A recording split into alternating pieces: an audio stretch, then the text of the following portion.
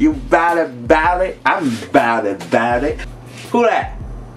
Hey, yo, hold on, hold on, hold on, hold on, hold on. I'm gonna get this paper wrapped, my G. I'm gonna get a record deal and get this paper, my G. Hello? Yeah, hold on. Yeah, I got money on the other line. Let me call you back. Nah, you ain't about that life. Yeah, yeah, yeah. You ain't about that life. Alright, I'll holler. You know what time it is. Yeah, I'm about to drop my EP, yo. It's going down. Everybody gonna hear this. It's gonna be hot. You got my mixtape, right? All 24 of them, right? yeah. Oh, so you think you big stuff, Oh, huh? you don't know. I'm about to get signed, yo. Is that it's right? about to go down. I'm about to get signed. But do you know that most record labels are actually marketing companies that are owned by the banks? Yeah, what you mean, man? You ain't talking about to get that favor. You don't want none of that bread. You want none of that bread. Banks are in the business of selling money. Marketing companies are in the business of selling products and services. Man, what you, what, that, what, that, what, you, what you talking about? Banks create money through loans that they have no true value until there's a promise to pay. In other words, debt creates money. Marketing companies will sell products and services through multiple forms of media that targets potential buyers demographically.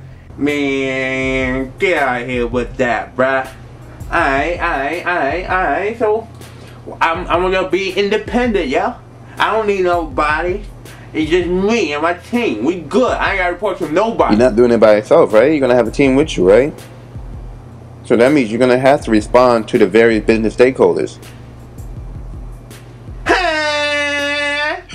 Look, stakeholders are all the people who stand to gain or lose by the policies and activities of a business and whose concern of the business needs to address. They include the customers, employees, stockholders, suppliers, dealers, retailers, bankers, people in the surrounding community, the media, the environmentalists, and the elected government leaders.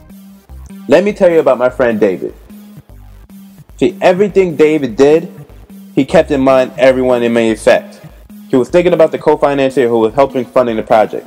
He thought about the guys who had to come in and actually work on the home itself. He had to think about the government officials. David had to think about the neighbors. He had to think about the people who was going to buy the home. He had to think about the bankers who were depending on this home being sold. He had to think about everybody. You're responding to not just yourself, but to everybody.